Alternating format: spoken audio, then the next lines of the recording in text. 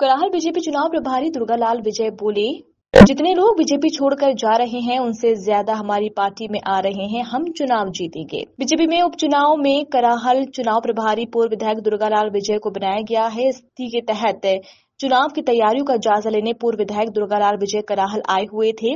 अभी हाल ही में बीजेपी छोड़कर कांग्रेस में शामिल हुए नेताओं पर अपनी प्रतिक्रिया दी है कि किसी के चले जाने से हमें ज़्यादा फ़र्क नहीं पड़ेगा। हम विकास के बलबूते चुनाव जीतने जा रहे हैं। कराहल संवाददाता अमित कुमार श्रीवास्तव की रिपोर्ट। सदस्य तीन जन सदस्य और नेता पार्टी छोड़ के जा रहे हैं बीजेपी की। गुटबाजी बताते हुए क्या कहना चाहते हैं आप इस पे?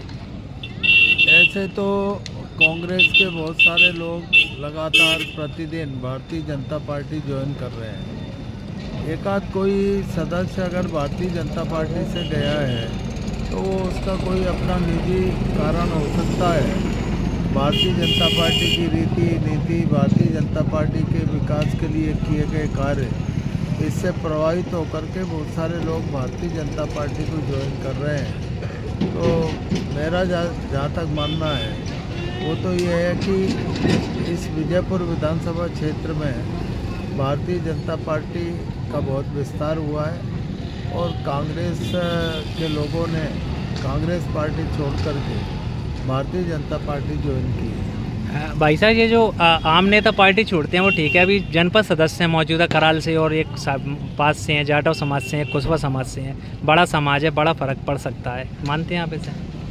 नहीं बड़ा फ़र्क तो जाटव समाज के कुशल समाज के लोग भारतीय जनता पार्टी में भी है और भारतीय जनता पार्टी को ज्वाइन भी कर रहे हैं। भारतीय जनता पार्टी के साथ कुशवा समाज में भी जाटव समाज में भी लोग काम करके भारतीय जनता पार्टी को जिताना चाहते हैं। अच्छा कोई इसका सामाजिक आधार नहीं है। उपचुनाव में क्या कुछ तैयारियाँ चुनाव बड़ा टाइट माना जा रहा है। इधर से कल की रैली ने भी कुछ दर्शाया है। कल एक विशाल रैली थी।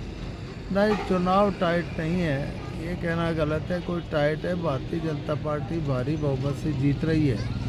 ये बात सबको मालूम है। जनता का रुझान और जनता का समर्थन।